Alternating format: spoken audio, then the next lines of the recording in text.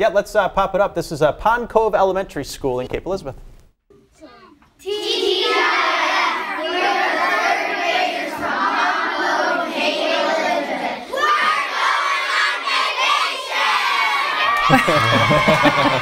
nice dabs, boys, in the back. I saw the dabs there. That's still a thing, It's huh? still a thing, yeah. And they're on vacation. They're happy about it. Yeah.